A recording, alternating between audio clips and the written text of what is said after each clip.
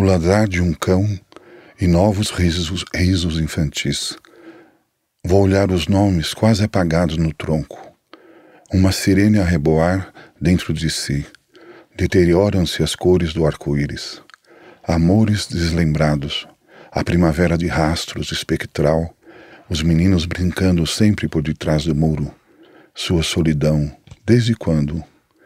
Que fora feito da melodia de antanho, anterior ao fenecimento das flores, habitantes do sorriso dela que o acalentaram por mais de meio século? Do aroma e das cores pregressos à noite, do desmoronamento do fulcro que sustentava a poesia de sua vida?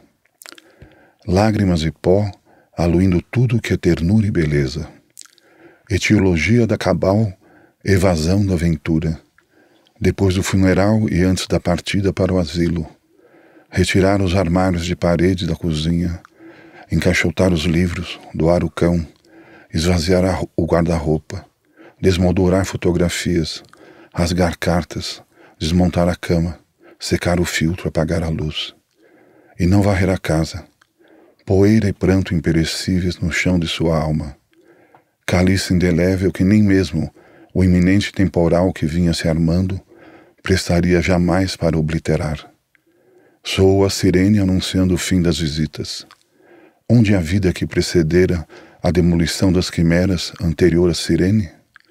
Não é esta a outra, carpindo na madrugada, pungentemente ouvida no interior da ambulância?